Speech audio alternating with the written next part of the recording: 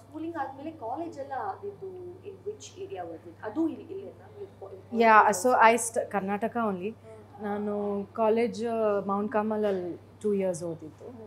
ಅದಾದಮೇಲೆ ಸಾರಿ ಏನು ಓದಿದ್ರಿ ಐ ಡಿಡ್ ಅದು ಲೆವೆಂತ್ ಆ್ಯಂಡ್ ಟ್ವೆಲ್ತ್ ಅಲ್ವಾ? So P C B H I did physics chemistry bio and home. Science ಎಲ್ಲಿ ನನಗೆ ಮ್ಯಾಥ್ಸ್ ಇಲ್ಲದೆ ಇರೋ ಇದು ಕೋರ್ಸ್ ಎಲ್ಲಿ ಸಿಗತ್ತೆ ಅಂತ ಹುಡುಕಿ ಅದು I did not want to maths I said this is not my area ಇದು ನಾನು ಲೈಫಲ್ಲಿ ನಾನು ಯೂಸ್ ಮಾಡೋದಿಲ್ಲ.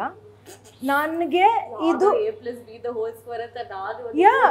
see there are certain certain jobs ನಮಗೆ ಅದು ಯೂಸ್ ಆಗಲ್ಲ. ಯಾಕೆ ನನ್ನ ನಿಂಗೆ ಟಾರ್ಚರ್ ಮಾಡ್ತೀರಾ? ನನಗೆ ಅದು it's a waste of my time ನಾನು ಬೇರೆ ಏನಾದರೂ ಓದ್ತೀನಿ which is like so I said so ಅದು ಹುಡುಕಿ ಅದು ಮೌಂಟ್ ಕಾಮಲಲ್ಲಿ ಮಾತ್ರ ಇತ್ತು. ಮ್ಯಾಥ್ಸ್ ಇಲ್ಲದೆ ಇರೋ ಸೈನ್ಸ್ ಆಪ್ಷನ್ ಬೇರೆ ಎಲ್ಲೂ ಇಲ್ಲ.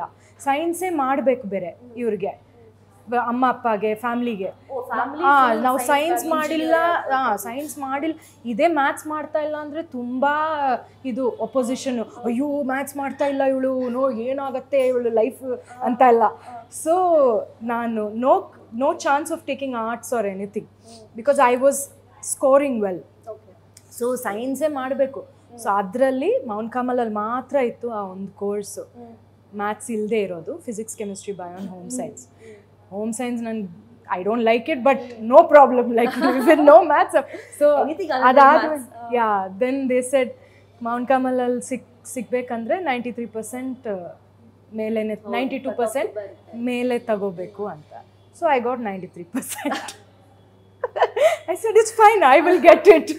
Just cross the border. I said, I got 93, I'll get into Mount Carmel. So, yeah, I studied in Mount Carmel. Hmm.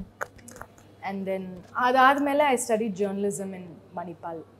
Journalism? Yeah. You studied journalism? Yeah, I did. Oh my I wanted to be a journalist. Is that Yeah. ಹಾ ಹಾ tell me about it but then why did the plan go as plan actually ನನಗೆ YONO ಆ ಏಜಲ್ಲಿ war journalism and you know like I wanted to be a war journalist